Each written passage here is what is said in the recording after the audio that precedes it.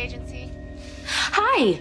Hi, um, my name is Victoria Blackwell. Um, I work at Rosewood High School where Ezra Fitz works. Oh, hi. You're in Pennsylvania, right? Yeah, yeah, I am. Um, actually, we just found out about his book and we wanted to throw him a little surprise party.